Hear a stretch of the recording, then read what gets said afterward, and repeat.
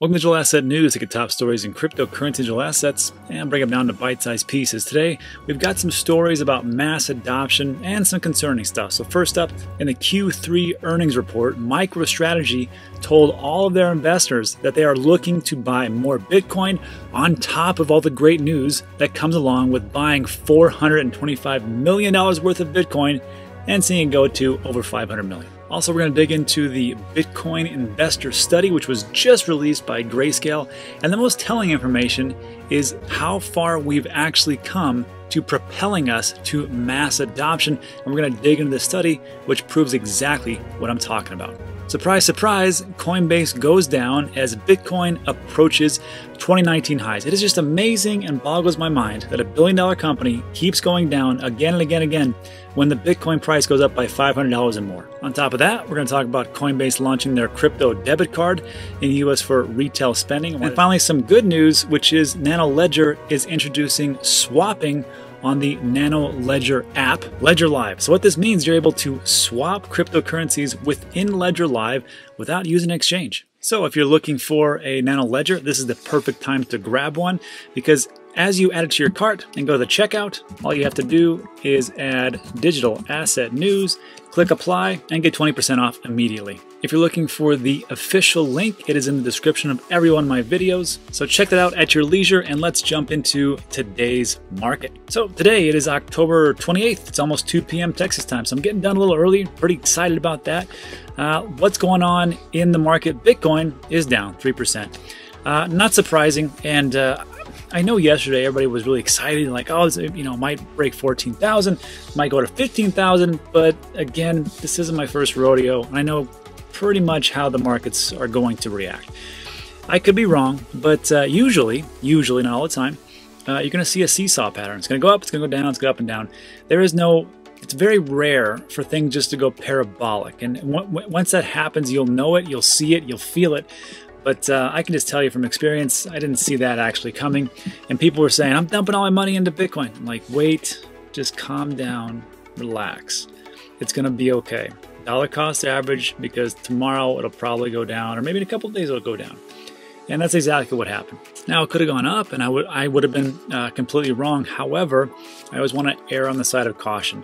It's like if it goes up, well, you made some money because you already have money into Bitcoin. And if it goes down, well, now it's a fantastic buying opportunity. So you really can't lose. And some people say, ah, but I lost up, I lost out on all those gains. Look, it's better to lose out on a little bit of gains than to lose multiple percentages in a 24-hour, 40-hour time frame and just kind of take it as it comes. So just DCA, be an investor, it's okay. If you want to trade, go ahead and trade. Just don't trade all your assets away. That's all I'm saying. All right, so uh, Ethereum also dropped below 400. Bummer. Tether, XRP. XRP down a little bit, but still around 25 cents, so that's pretty good. 274 for Bitcoin Cash. It's up 3.5, and that's like the only one that's actually up because everything else uh, is just uh, in a sea of red. And I have to tell you, I gotta tell you, I gotta tell you, Yesterday I was pretty bummed out because the whole market had gone like way up. Now I'm feeling pretty normal. I'm like, oh great, now I can actually dollar cost average and scoop these things up at a discount. And this is the great thing about dollar cost averaging. You don't ever feel like that tightness. You're just, oh, I, I lost so much. No, when the prices dip down, you're like, this is great. I get to buy them on the cheap. Fantastic. And that's exactly what I'm doing uh, with Theta. Where'd Theta go? Here we are. So it's down 6%. This is great because yesterday I was kind of bummed out. I'm like, man, it's almost, almost at seven, 70 cents. Now today, 61 cents. Guess what I'm going to do? Buy more Theta on top of Celsius Network. And there it is down 4.7. So again, these are good days for me. I don't know about you, but I appreciate these days. Anyhow, and everything's pretty much uh, down the tubes uh, for today. But hey, tomorrow's a new day. If you don't like the price, just stick around for a little bit. It'll change. All right, that's enough of that. Let's jump into today's top story. So first up, the hits keep coming. This was the earnings report, the Q3 earnings report for MicroStrategy, which was done yesterday. And it's pretty revealing, not just on what's talking about here, about uh, Michael Saylor saying, hey, we're going to buy more Bitcoin or actually the, the president, that's uh, Michael Saylor, the CEO. The most telling thing is about what happened to the company, its stock prices, and how just the notoriety, revelation of using Bitcoin has actually propelled this company uh, into greater heights. So, what am I talking about? Here's what's happening. So, MicroStrategy is looking to add to its 521 million stash of Bitcoin, the company's president said Tuesday during their earnings call.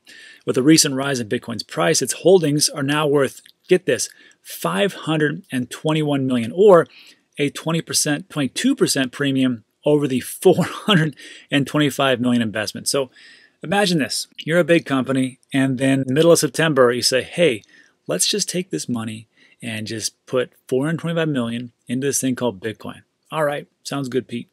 And then you do that and you're up like a 100 million dollars. you're up like a 100 million dollars in like 5 weeks. That's insane. But that's digital assets and cryptocurrency. Now, they could have done this with gold, and you know how that would have ended up. So, I mean, they still would have gained a little bit, but not like they would right here. And that's the whole thing about people who are like, you got to buy gold, you got to buy gold. Sure, go buy gold. But here's the thing there is a much greater upside with cryptocurrencies, digital assets, and if I had to pick one, I'll say Bitcoin. So why not just do that? Why not just get both? It's not like one has to be the ultimate uh, prize winner. I mean, geez, come on. Anyhow, MicroStrategy President Phong Le said this You should expect that we will purchase additional Bitcoin as we generate cash beyond what we need to run the businesses or the business on a day to day basis. So, just by them getting into Bitcoin, the stock price went up exponentially. So, they had posted a profit of almost 20 million or $2.06 per share, which is up 11 million or $1.13 just a year ago. So, pretty good. They were at $1.13, now they're at 206. Not too bad. And here's the thing I've said this multiple times on the channel. I'll say it one more time. If you're new, welcome. And is this uh, other companies look to bigger companies.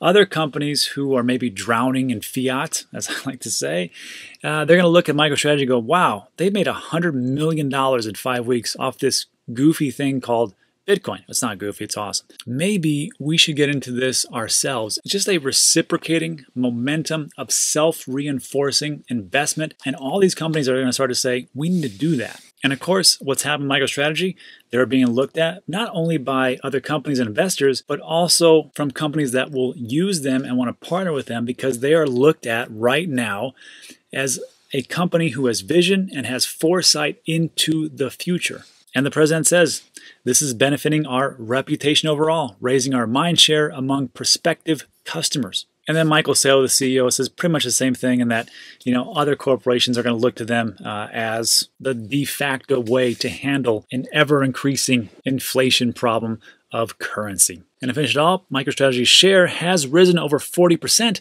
since Saylor's first Bitcoin disclosure on August 11th. So again, Nothing more than great news from a big corporation on top of the PayPal absorption of cryptocurrency digital assets. And uh, I mean, things are just going in the right direction. I think 2021 is going to be a great year. I don't know how 2020 is going to end up, but uh, I think we're going in the right trajectory. Let me know what you think in the comment section. Let's move on.